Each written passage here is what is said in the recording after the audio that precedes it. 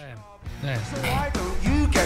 Allora, ultima performance del professor Orsini. Caro Giuseppe Cruciani, voce per favore, ah. musica lenta, per favore, musica lenta.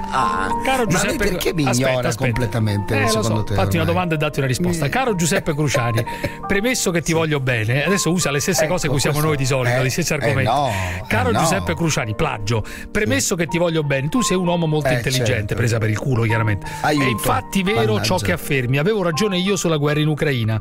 Le mie previsioni si sono verificate tutte. Beh, adesso tutte, tutte non esageriamo. Tutte, Comunque lui tutte. dice tutte. Le mie previsioni. Ma che cos'è un meteorologo che prende le sue previsioni? Allora, e, e, poi le elenca. Per ogni proiettile della Nato sì. che l'Ucraina lancerà contro la Russia, la Russia sì. lancerà 10 proiettili contro l'Ucraina.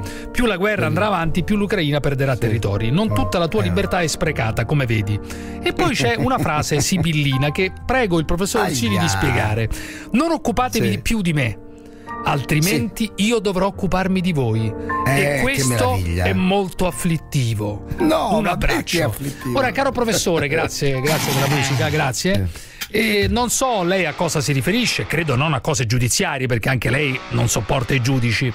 Noi continueremo a occuparci di lei perché lei è un personaggio pubblico che devo eh dire sì, la verità, eh sì. nella comunicazione sull'Ucraina, sul Medio Oriente, ha una sua influenza, un suo bacino, un suo uditorio, mm. come si dice, uditorio. Eh beh, è così, è così. Mm. Per cui noi continueremo a modo nostro, con ironia, con strafottenza, anche qualche volta in maniera dura eh, come fa lei, sì, però, professor? Come fa lei? Dura. Come fa lei? Eh, Esattamente certo. come fa lei, dando degli stupidi, dei cretini, degli imbecilli alle persone degli semplicemente idioti. che non la pensano come eh. lei.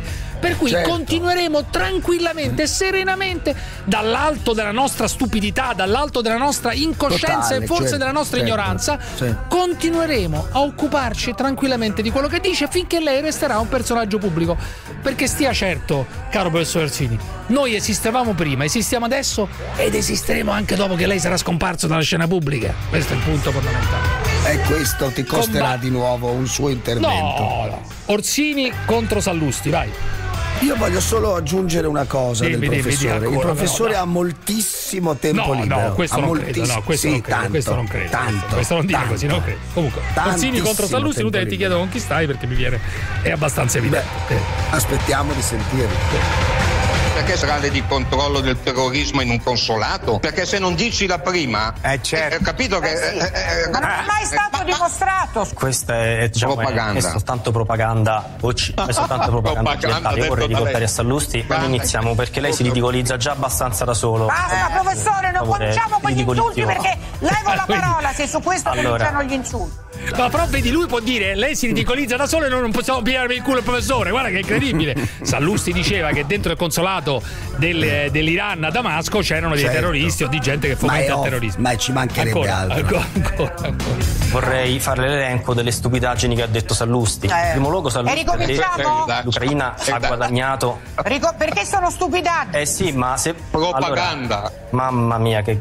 guardi dottoressa, eh, io non, non, intendo andare avanti in questo modo. Eh. sei pagato, no, sei pagato dalla Berlinguer, vai avanti, no? È un gioco delle parti. Che forza. l'Ucraina Sallusti, ma lei non deve andare via, c'ha un impegno, se ne vada. Vabbè, senta, professor Rossini, non è che decide lei quando va via Sallusti. Eh.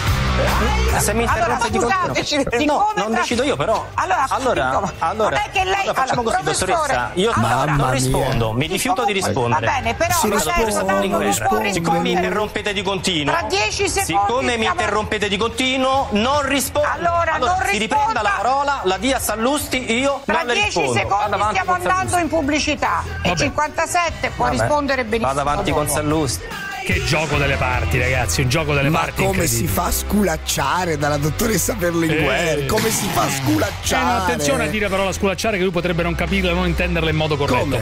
Allora, no, ieri mi sono ma metaforicamente. Sì, ma grazie al cazzo, lo so. Altro, allora, eh, eh, però spieghiamolo. Allora, ehm, eh. ieri sera ero ospite come al solito. tu dici una... che il professore non capisce? Ma no, potrebbe, tu dici che non capisce. Potrebbe prendere tutto alla lettera, che ne sai. Mm, allora, ero ospite di una trasmissione che fa dritto di nome e rovescio di cognome. Come no? C'era la dottoressa